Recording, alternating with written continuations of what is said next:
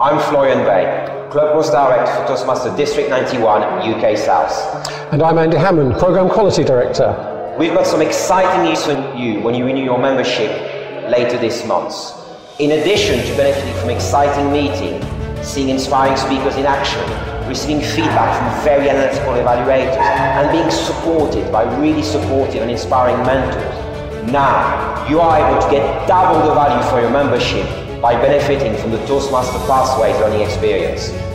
There are 10 learning paths to choose from. They combine different aspects of public speaking, communication, building confidence, leadership, and management. Take the assessment and find your best path.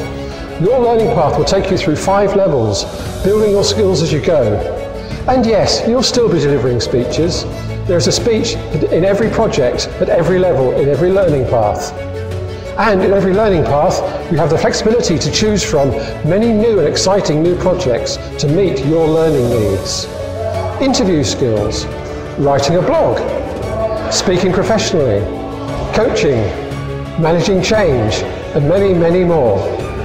All of you will be able to get Pathways for free when it arrives in a few days' time. What's more, if you're a member of two and more clubs, you will get two learning paths to choose from free of charge.